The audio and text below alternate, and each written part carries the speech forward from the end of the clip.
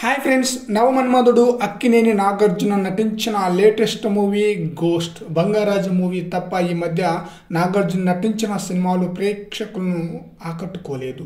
Creative director Praveen Sattaru ghost మూవీకి director అనమాట high voltage action మూవీగా ఈ మూవీ ఉండబోతుంది. ఈ మూవీ సెన్సార్ పనులు కంప్లీట్ చేసుకుంది. అక్టోబర్ ఐదున అంటే దసరాకి ఈ మూవీ గ్రౌండ్గా రిలీజ్ అవుతుంది. అదే రోజు మెగాస్టార్ చిరంజీవి నటించిన గాడ్ ఫాదర్ మూవీ కూడా రిలీజ్ కాబోతుంది. ఇద్దరు అగ్ర హీరోల సినిమాలు ఒకే రోజున రిలీజ్ కానున్నాయి. ఈ చిత్రంలో నాగార్జునకు జోడీగా సోనాల్ చౌహాన్ హీరోయిన్గా నటిస్తుంది. ఈ మూవీకి సెన్సార్ బోర్డు వారు యూబైఏ సర్టిఫికేట్ ఇచ్చారు. సెన్సార్ సభ్యుల టాక్ ప్రకారం ఈ మూవీలో యాక్షన్ దృశ్యాలు హాలీవుడ్ చిత్రాలను తలపించేలా ఉంటాయట. ఆల్రెడీ ట్రైలర్లోనే మనకు అర్థమైంది ఈ సినిమా ఎలా ఉండబోతుందో అని. నాగార్జున గత సినిమాలతో పోల్చితే ఈ మూవీపై అంచనాలు తారాస్థాయిలో ఉంది.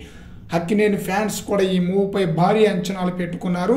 Action scenes emotional scenes romantic scenes చాలా బ్రహ్మాండంగా ఆకట్టుకోబోతుంది. ఈ సినిమా బ్లాక్ బాస్టర్ హిట్ అన్న టాక్ కూడా వినిపించేస్తుంది.